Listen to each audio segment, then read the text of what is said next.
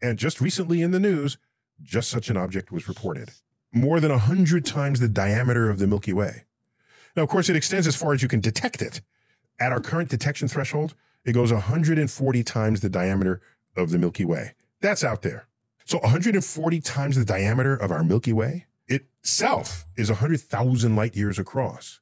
So 140 times that, this we're talking way out in intergalactic space.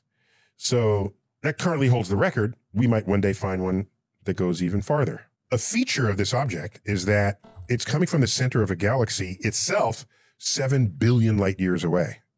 That's halfway to the beginning of time in the age of the universe. And by the way, this galaxy has a name.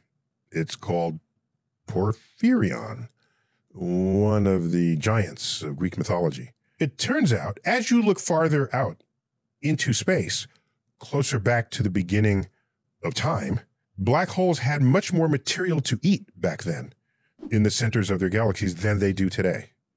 This is the origin of what we call quasars. Quasars, that's an acronym for quasi-stellar radio source, quasars. Quasi-stellar because a lot of intense energy is coming from a small spot on the sky.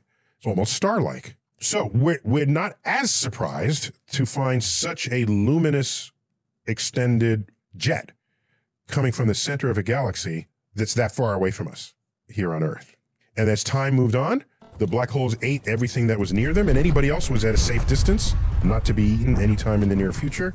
So it makes sense that this is an object as far away as it is.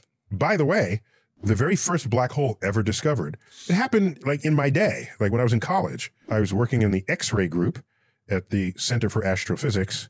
It was a summer job. I was an undergraduate. And the X-ray group had pioneered small portable X-rays that would be launched into X-ray satellites that would then observe the universe for X-rays.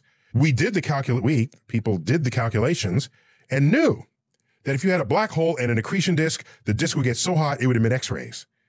So you train your X-ray telescope in these regions of our galaxy. You create an X-ray catalog. Now there are other ways you can make X-rays in the universe, but one way you get them for free is in the vicinity of a black hole. So some of the best black hole candidates were first put forth by these satellites, these early X-ray satellites that were tuned to discover black holes in our midst.